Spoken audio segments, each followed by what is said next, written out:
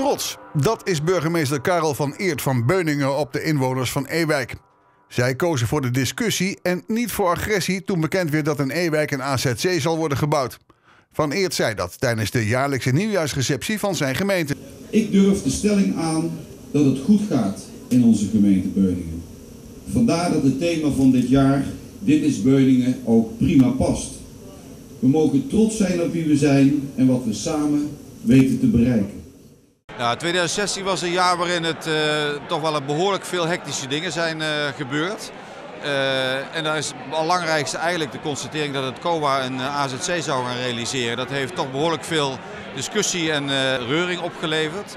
Maar aan de andere kant hebben we daarmee ook wel laten zien dat we in staat zijn, ook als Beuningen, hoe klein we ook zijn, om toch ook een bijdrage te leveren aan problemen die groter zijn dan wij zelf.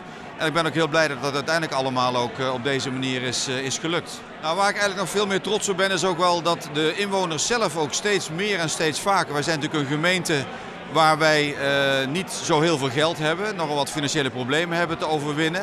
Dat ook inwoners, ondernemers en instellingen zelf steeds meer in actie komen om zelfstandig ook als partij mee te doen. En zelf initiatieven te nemen en daardoor als gemeente eigenlijk ook veel meer in de samenhang met de samenleving zelf dingen aan het, uh, aan het ontwikkelen zijn. En dat vind ik heel erg positief. De gemeente krijgt eigenlijk steeds meer een andere rol. En wij proberen steeds meer te faciliteren wat er in de samenleving gebeurt. En dat is een proces wat nu aan de gang is en dat zal ook de komende jaren nog wel doorgaan. En daar ben ik eigenlijk heel erg blij mee. Nou, we hebben uh, lange tijd weinig woningbouw gehad in de gemeente. Dus er zijn nu een aantal projecten die we al begonnen zijn. En er zijn nog een aantal die in de pijplijn zitten. Dus we gaan in ieder geval weer wat meer uh, bouwkranen zien in, in onze gemeente. En we zullen ook met de opgave die we hebben om de zorg beter te gaan organiseren in de gemeente, gaan we ook erg uh, uh, mee door in de komende tijd. Dus op die manier proberen we ook gewoon als gemeente onze verantwoordelijkheid te nemen en de mensen de zorg te bieden die ze nodig hebben. Nou, we werken al heel erg veel samen met gemeenten, met name in het Rijk van Nijmegen. Soms met een kleinere groep, soms met een hele groep gemeenten. En uh, nou ja, onze gemeenteraad heeft zelf nagedacht, ook onderzoek laten doen naar hoe zij dat in de toekomst nog misschien uh, uh, willen veranderen.